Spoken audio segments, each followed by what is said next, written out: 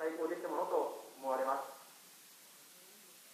えー、ご準備にあたりまして、えー、宮司さんの方から、一言いただくと同時に、宮川によります、説明をもちまして、めでたくお開きをしたいと存じます。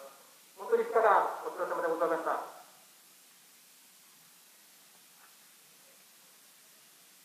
本当に一言だけご挨拶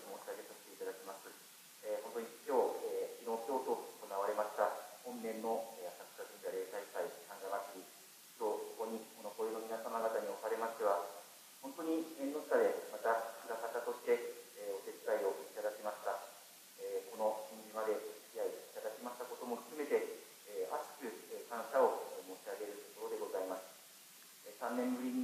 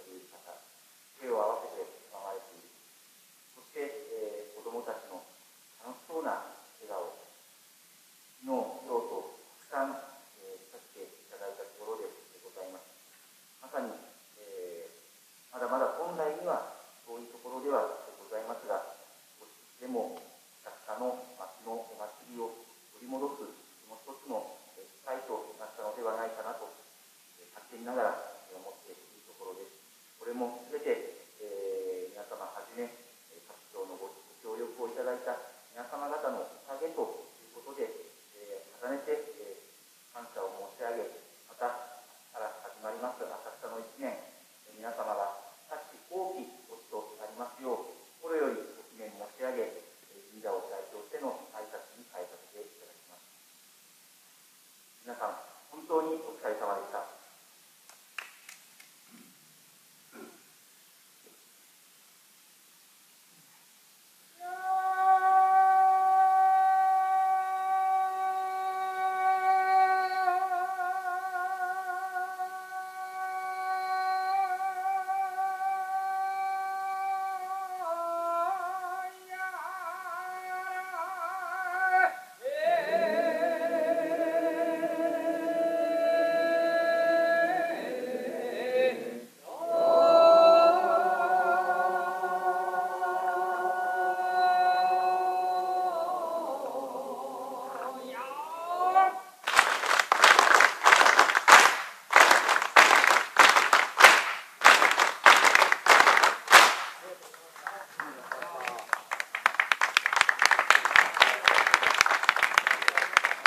Gracias.